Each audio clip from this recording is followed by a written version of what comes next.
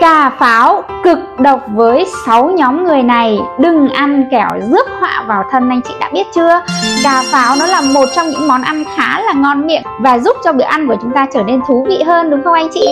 Và theo đông y ấy, thì cà pháo nó có tác dụng tiêu viêm, nhuận tràng khá là tốt. Còn theo tây y thì cà pháo có chứa vitamin E. P, protein, canxi, phosphor tốt cho sức khỏe.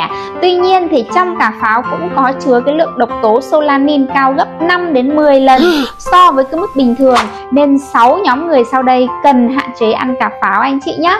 Thứ nhất đó là những người bị suy nhược cơ thể, thứ hai đó là những người mới ốm dậy, thứ ba đó là phụ nữ đang mang thai, tư là phụ nữ mới sinh con. Và thứ năm đó là người đang bị bệnh tử cung. Và cuối cùng đó là những cái người mà bị bệnh tăng nhãn áp.